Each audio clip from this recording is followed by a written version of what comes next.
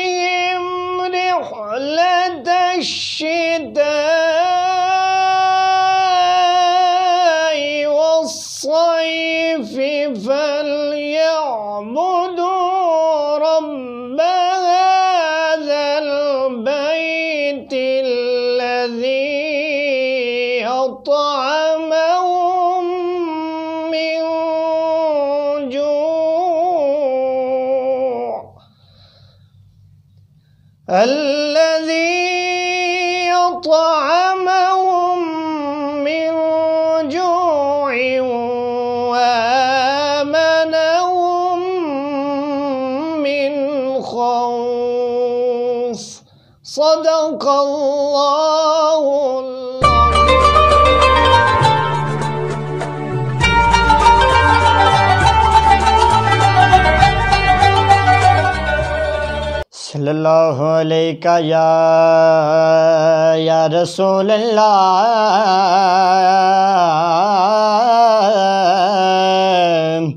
वसल्लम अलैका या हबीब अल्लाह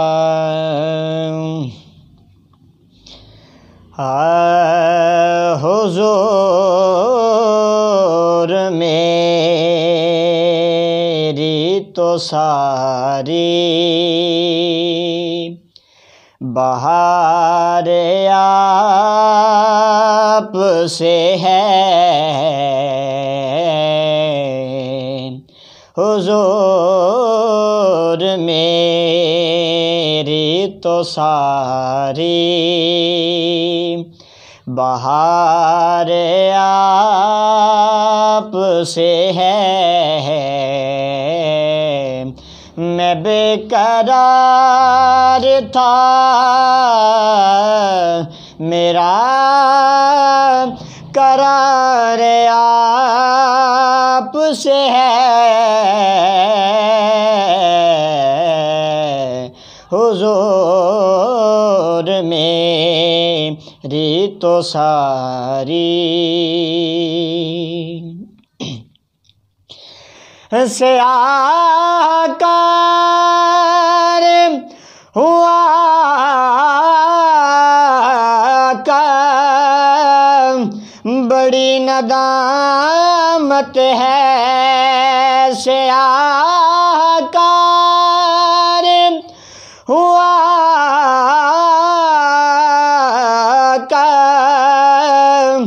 बड़ी नदामत है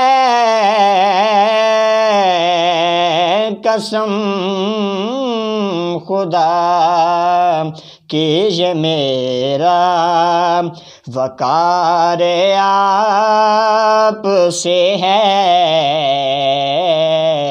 मैं बेकरार था, मेरा करार आप से है।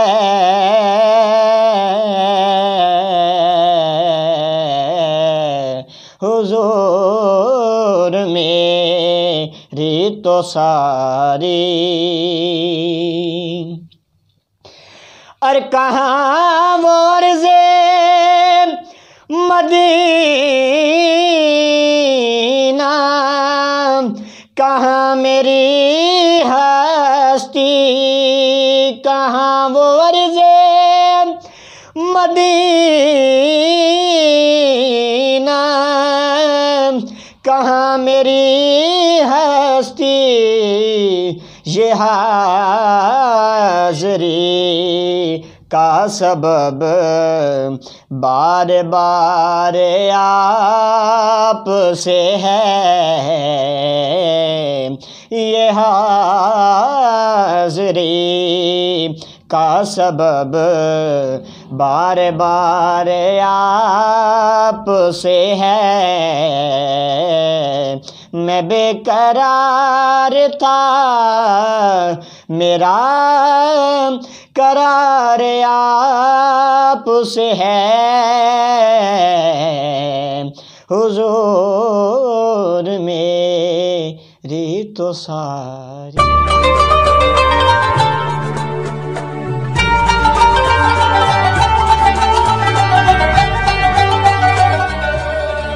आई फिर याद मदीने की।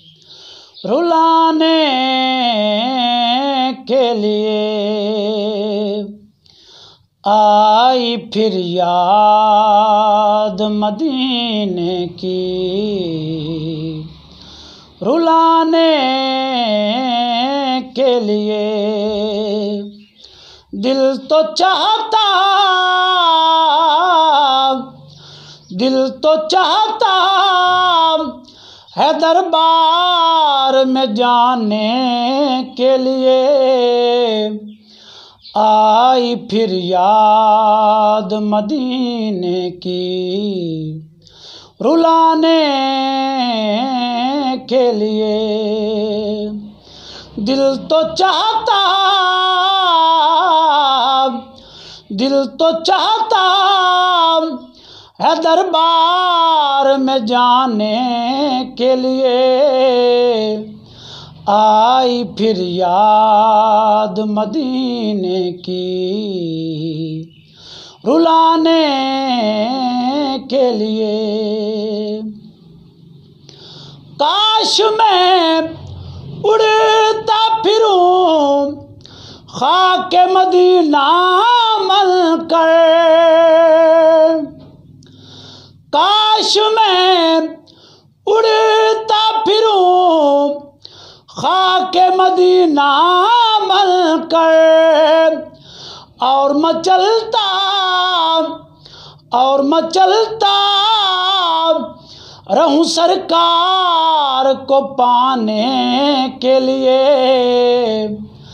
आई फिर याद मदीने की। रुलाने के लिए। दिल तो चाहता, दिल तो चाहता है दरबार में जाने के लिए। आई फिर याद मदीने की रुलाने के लिए। बख्शदीप, सईद को नात की दौलत आका। बख्शदीप, सईद को नात की दौलत आका। कितनी ताकत है, कितनी ताकत है मिली सबको सुनाने के लिए। आई फिर याद मदीने की रुलाने के लिए। दिल तो चाहता है दरबार में जाने के लिए। आई फिर याद मदीने की रुलाने के लिए।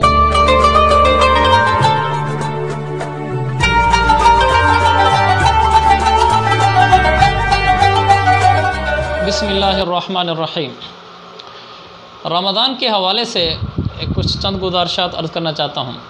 एक तो रमज़ान में सबसे बुनियादी चीज़ वो रोज़ा है, फिर उसमें तिलावत असकार सब चीज़ें हैं।